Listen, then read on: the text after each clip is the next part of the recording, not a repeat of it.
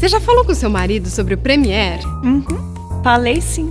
Ai, você falou que tem quadra de tênis, churrasqueira. Falei, ele ficou louco de vontade. Ai, já pensou? Os maridões lá se divertindo, deixando a gente sossegada. Pô, eu pensei. Mas você tem certeza que o preço é bom mesmo? Bom não, menina. É ótimo. Mas não vai espalhar, né? Premier, alto padrão no melhor do Jardim Aquários. Preço, você não vai acreditar.